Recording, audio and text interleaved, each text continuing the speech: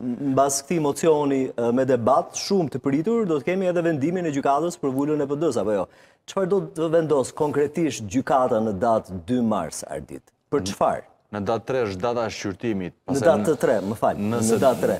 Nëse do të ketë vendim apo jo, kjo mbetet për t'u parë, pasi mund të kemi edhe një thjesht një shtyrje të vendimmarrjes së gjykatës. Sigurisht, për arsye të ndryshme gjykata mund ta shtyjë vendimmarrjen.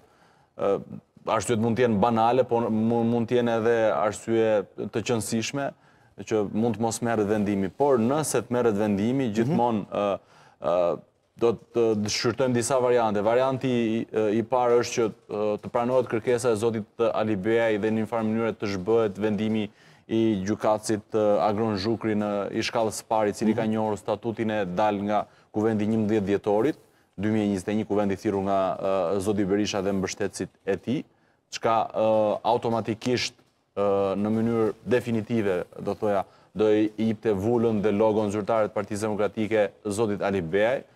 Varianti tjetër më pas do ishte hedhja poshtë e kërkesës së zotit Alibeaj dhe lënia në fuqi e vendimit Zhukri, që përkthehet në kalimin zyrtar dhe automatik të Partisë Demokratike, logos, vulës dhe çdo gjë tjetër zyrtare që njihet nga nga shteti shqiptar tek zoti Berisha dhe do të kishte ky më pas të drejtën për të regjistruar kandidatët, komisionerët, të gjitha aspektet e tjera në për zgjedhjet lokale të 14 majit. Por siç e thashë, nuk duhet të jemi nuk duhet të jemi me aq shumë shpresë se në datën 3. Nuk duhet kemi pritshmëri, mund të kemi shtyrje sërish. Nuk duhet kemi shumë pritshmëri se në datën 3 kjo histori do të mhm. marrë fund, pasi siç e thashë, mund të kemi dhe një shtyrje dhe ngërçi vazhdon dhe zgjatet pa fund